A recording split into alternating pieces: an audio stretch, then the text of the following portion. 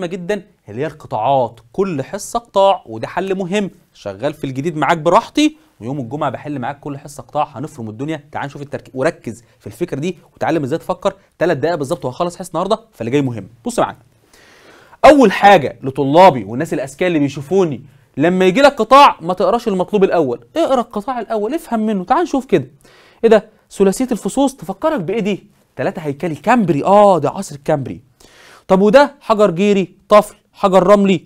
إيه الخط المتعرج ده؟ ده سطح عدم توافق. حتى لو ما قالش آه ما هو خط المتعرج دليل على سطح عدم التوافق؟ طب ده أفقي مع أفقي يبقى على طول سطح عدم إيه؟ ها متقاطع. طب والله عرفت. إيه ده؟ ده عرق قاطع للطبقات أهو. آه ده في شرط كده يبقى اللي حواليها اتاثر بالحرارة يبقى أكيد هيحصل تحول تمام. أسماك بدائية إيه السمك ده؟ ده هنشويه؟ لا ده هنعرف بيه الحل. السمك ده علشان يقول لك أسماك البدائية كانت في السلوري سمك في وعاء أول الأسماك البدائية. الله. يبقى أنت شفت السمك في ثلاث حاجات. أسماك بدائية ده في السلوري. أسماك أو سيادة الأسماك دي في الديفون اللي بعده.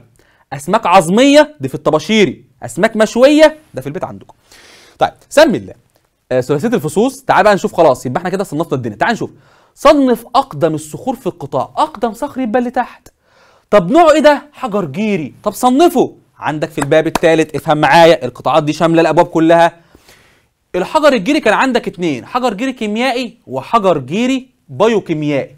طب مين اللي فيه حفريات على طول حجر جيري بايوكيميائي؟ يبقى صنفهم الأول. رسوب. اتعلم التصنيف. لما يقول لك صنف الصخر تجيبه الأول من العيلة. هو ناري ولا رسوبي ولا متحول؟ وبعد كده تقسمه. أول حاجة رسوبي. ها كيميائي. خلص. sorry ده, ده رسوبي عضوي عشان في حفريات.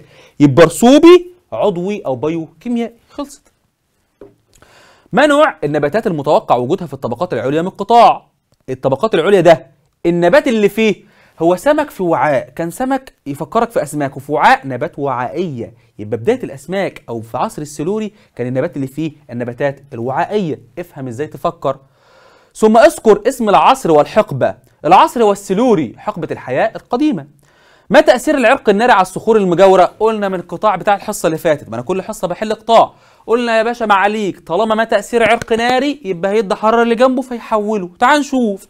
على الصخور المجاورة حجر جيري يتحول إلى رخام الطفل يتحول إلى أردواز حجر رملي كوارتزايت خلصت. ما تأثير التدخل الناري على الحفريات المتواجدة؟ يشوهها يحدث لها تشوه أو تكسير نتيجة التحول.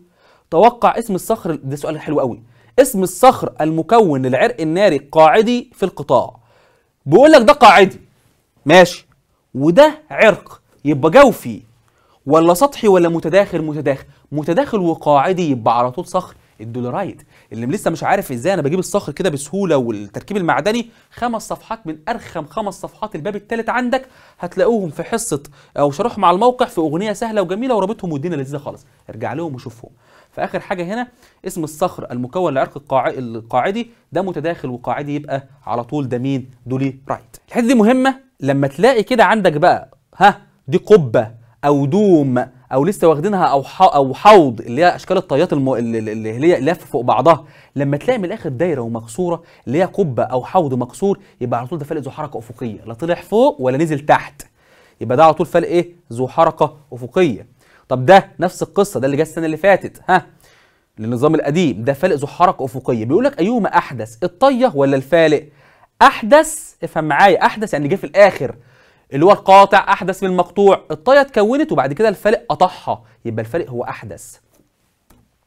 آخر حاجة برضو ده جه السنة اللي فاتت. منوع التركيب واحد. واحد ده امسك طبقة واضحة. دي مثلا اللي هي السودا دي. ده سفلي. ده علوي. فالق معكوس. اتنين. اتنين ده خط أهوت وفيه طبقات مايلة. سطح عدم توافق. زاوي. طب تلاتة. نفس القصة. أدي السودا وأدي البيضة مايلة. دول مايلين يا جماعة تحت. واللي فوق أفقية. فده عدم توافق برضه زاوي. اتنين زاوية في قطاع واحد؟ آه. جابها لك؟ أهو. فما تستغربش. أنا كده خلصت حصه النهارده رقم واحد حصة الجمعه حل بنك معرفة حل قديم. في كل حصة عندي قطاعات. رقم اتنين لو عندك مشكلة في القطاعات اجري على ال- ال website أو الموقع بتاعك أو اليوتيوب. هتلاقي في حصة اسمها أخيرا حصة القطاعات فارن فيها كل حاجة. ربنا ييسر أموركم يسعد قلوبكم.